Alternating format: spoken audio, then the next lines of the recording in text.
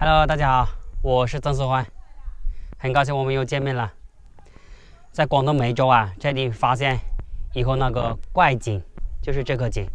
这个井水呢，它那个水位啊高出这个地面，这后面是公路，它你看很奇怪啊，是不是？不知道里面有没有那个鱼啊？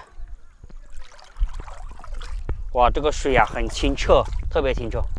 哇，有哎，果然有鱼哎。呜、啊，大家看看，好清澈这个水啊啊，非常清。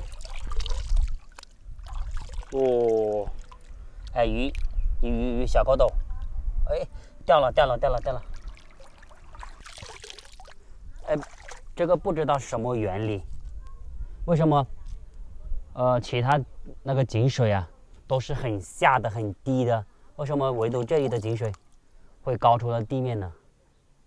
谁知道原因的？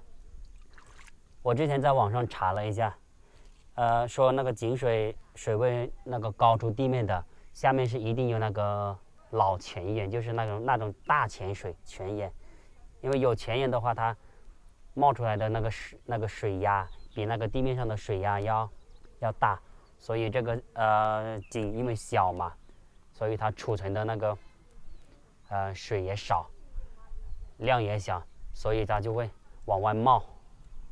网上就是这么解释的，但是具体这个是不是这种情况，我就不知道了。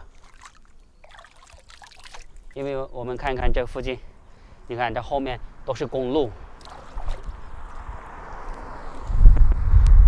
看一下，那边有一个池，一个池塘，那这个池塘的水啊，跟跟这口井啊比起来，也是差不多。你看这个井啊，哦，看起来。跟公路差不多高，就我现在目测这个水盆位呀，它是明显比这里所有的都要高。这个水位啊，你看这个水位，啊，比这里所有的都要高，包括比比这个池塘的水也要高。这个现象真的很奇怪。好了，今天就介绍到这里，我们下期见，拜拜。